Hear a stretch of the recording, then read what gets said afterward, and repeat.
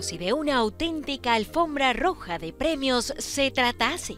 La Ciudad del Sol recibía a varias de las más conocidas y exitosas celebridades de España para una fascinante fiesta de la mano de una de las empresas de decoración y revestimiento más conocidas que lleva más de 45 años en el mercado.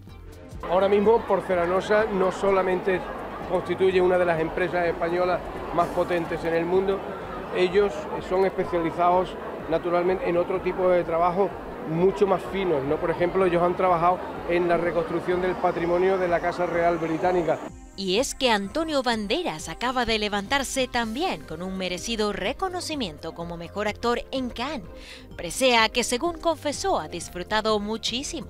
Aterrizaba en Miami para cumplir así con la Semana de la Moda y lo hacía por supuesto junto a su gran amor.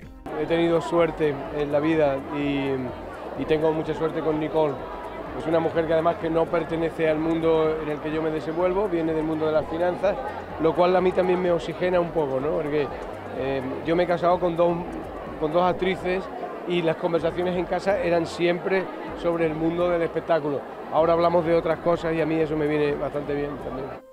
Además, con simpatía bromeaba sobre la hermana gemela de su pareja, quien también asistió al evento. La gemela es igual que ella, incluso la voz. A él se sumaba la socialité Isabel Presler.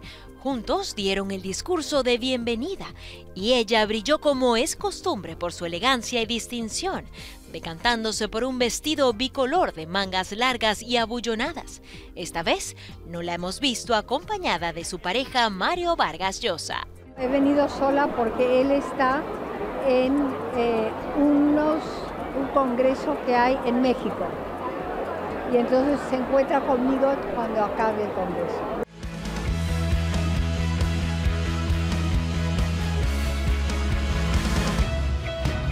Quédate con Hola TV.